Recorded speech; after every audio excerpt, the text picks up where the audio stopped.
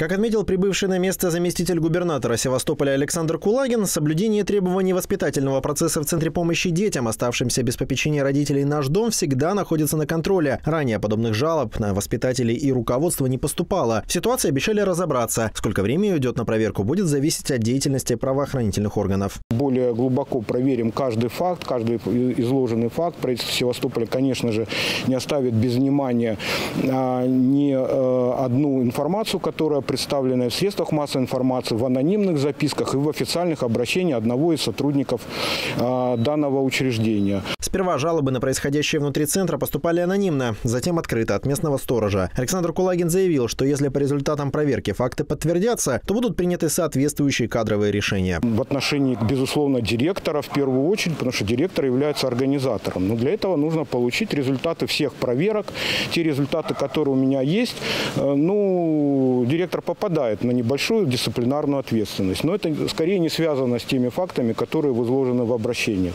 В объективности проводимой проверки убеждена и депутат Законодательного собрания Севастополя Татьяна Щербакова. При этом она отметила, Центр всегда находится под постоянным контролем само здание детского дома, оно, в общем-то, не очень приспособлено э, для того, чтобы здесь находились дети. И это подтверждают постоянные проверки МЧС и прокуратуры. К чему я это веду? Что здесь постоянно проходят проверки прокуратуры, МЧС, э, органов, э, связанных с обеспечением безопасности.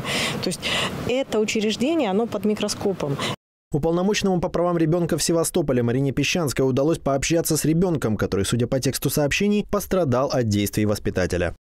Мальчик мне не подтвердил того, что его били, но здесь есть такое э, небольшое замечание. Мальчик, собственно, является учеником интерната номер 6, а это значит, что есть проблемы с психическим состоянием здоровья.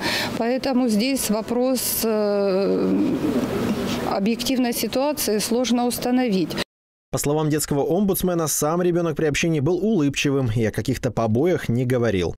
С другими детьми я, конечно, поговорила, не посвящая их, собственно, в ситуацию. Дети говорят, что им комфортно в детском доме, что насилия в отношении них нет. Марина Песчанская пообещала также ознакомиться с записями камер видеонаблюдения, а заместитель губернатора Александр Кулагин сообщил, что по предварительным результатам проверки вскрылся другой настораживающий факт по факту трудоустройства человека, от которого поступили крайние сообщения, потому что до этого было несколько сообщений, а, будет проведена проверка, в том числе и связанная с э, законностью его трудоустройства. Поскольку человек поступил сюда по а, конкурсу, а, и, к сожалению, у человека есть, ну, как медицинский термин в анамнезе, э, вопросы, связанные с привлечением к уголовной ответственности. Мы говорим не про охранника, а про человека, который э, написал последние заявления официально, которые поступили к нам э, и в прокуратуру. Вот а мы, кем он работает тут? Безусловно, он работает, насколько мне известно, заместителем директора по безопасности. Кирилл Попов, Севинформбюро.